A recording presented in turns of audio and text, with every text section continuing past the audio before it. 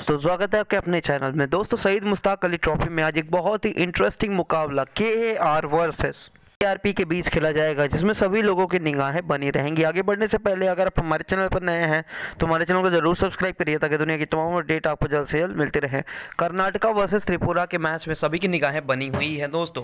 अब बात करते हैं बेस्ट प्लेइंग इलेवन की। तो आपको बता दें कि आज सभी की निगाहें देवदत्त पादिकल कृष्णप्पा पर रहेंगी। आगे बढ़ते दोस्तों बेस्ट प्लेइंग इलेवन की तरफ़ जयदेव बानी को as a wicket keeper batsman के लिए देवदत्त पादिकल, विशल घोष, करुण नायर को अपनी टीम में जोड़ लीजिए। ऑलराउंडर्स के लिए कृष्णप्पा, मिलिंद कुमार मनीष शंकर को अपनी टीम में जोड़ लीजिए। बॉलर्स के लिए दोस्तों, श्रेयस गोपाल, अभिमन्यु, मिथुन प्रसेद बहुत ज़्यादा उम्मीदें लगाई गई हैं। देवदत्त पादिकल को एज अ वाइस कैप्टन तथा कृष्णम पक को एज अ कैप्टन अपनी टीम में आप जोड़ सकते हैं। फ़िलहाल इतना ही सब्सक्राइब करके ज़रूर जुड़ेगा अपने भाई साहब अपडेट्स के लिए।